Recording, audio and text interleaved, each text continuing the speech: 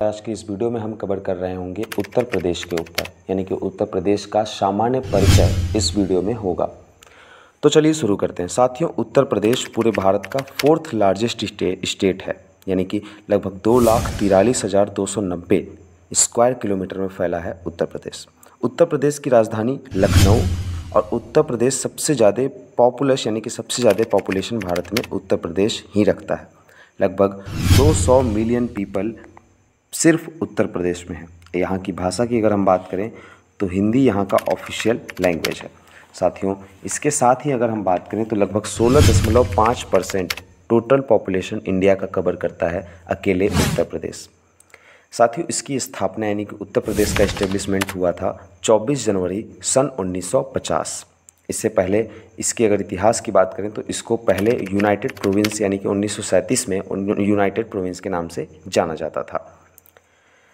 साथियों, उत्तर प्रदेश का जो मोटो है, सत्यमेव जयते। इसके बाद यहाँ पे जो गवर्नर हैं वर्तमान में, आनंदीबेन पटेल और चीफ मिनिस्टर हैं योगी आदित्यनाथ। और डिप्टी सीएम की बात करें तो केशव प्रसाद मौर्य और ब्रिजेश पाठक। राज्यसभा की 31 सीट उत्तर प्रदेश में, लोकसभा की 80 सीट उत्तर प्रदेश में। यहाँ पे साथियों, टोटल हमने आपको बता दिया कि चौथी रैंक रखता है एरिया वाइज और पहला रैंक रखता है पॉपुलेशन वाइज। अगर हम पॉपुलेशन वाइज को और डीपली देखें तो यहाँ पे बाईस दशमलव दो सात परसेंट अर्बन एरिया है। वहीं पे सतहत्तर दशमलव सात तीन परसेंट रूरल एरिया है। और ऑफिशियल भाषा हमने आपको बता दिया हिंदी। एडिशनल भाषा यहाँ पे कई हैं, जैसे कि उर्दू, अवधी, बघेली, भोजपुरिया ब्रजी बुंदेली, कन्नौजी रोहिलखंडी साथियों, इसके अलावा उत्तर प्रदेश का जो स्टेट बर्ड है, सारस क्रेन होगा और फ्लावर यहाँ पे पलास होगा। मैमल यहाँ पे बारह सिंघा को कहते हैं, जो कि हिरन होता है स्पेशली उसके बाद ट्री यानी कि स्टेट का जो ट्री होगा, अशोका। यहाँ का जो डांस है साथियों, कथक और स्टेट का जो स्पोर्ट का बात करें तो हॉकी यहाँ पे कुछ, यहाँ पे जो फ़ेमस जगह हैं, जैसे कि मेरठ, नोएडा, गाज़ियाबाद, लखनऊ, ये बहुत ही मेजर इकोनॉमिक सेंटर हैं।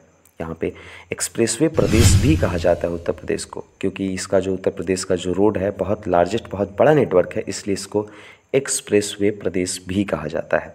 साथियों, उत्तर प्रदेश में 18 डिवीज़न और 75 डिस्ट्रिक्ट है। साथियों, उत्तर प्रदेश में छः दशमलव एक परसेंट फॉरेस्ट एरिया है, यानी जंगल का इलाका है, वहीं पे बयासी परसेंट कल्टिवेटेड एरिया है।